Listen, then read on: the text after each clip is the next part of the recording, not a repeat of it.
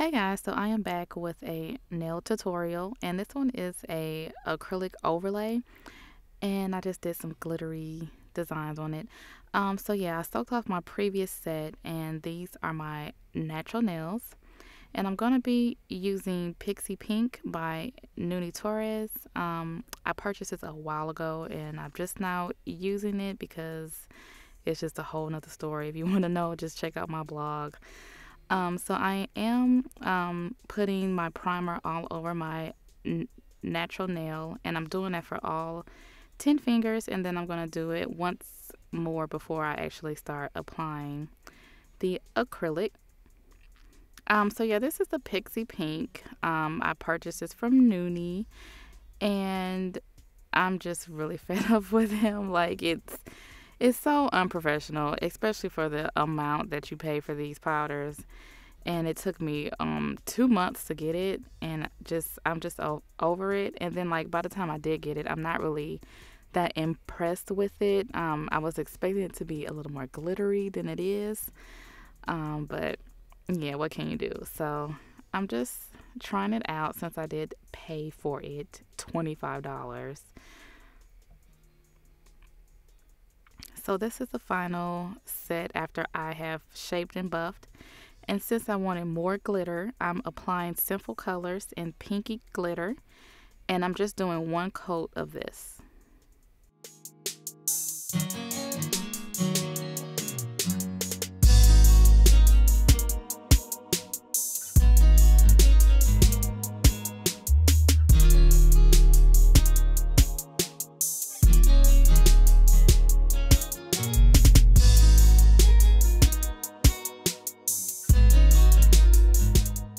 Next, I'm following up with my Seche Vite top coat.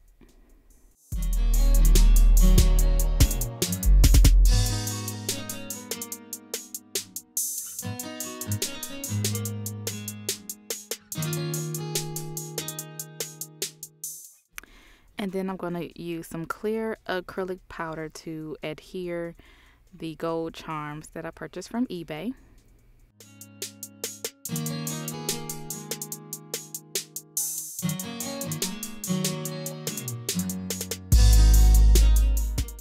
Then I'm going to use the same um, clear acrylic to adhere some stones. Um, these were also purchased from eBay.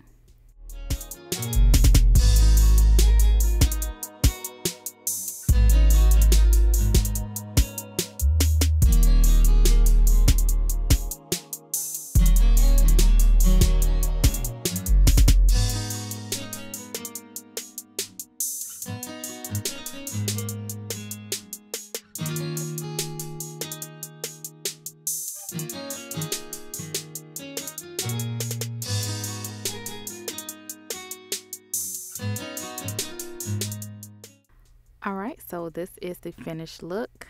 Um, I'm really happy about the shape of them I like that it looks extremely natural. Um, but as far as the color I don't know. I might have to just play around with this powder. But um, thank you guys for watching and I will talk to you guys in my next video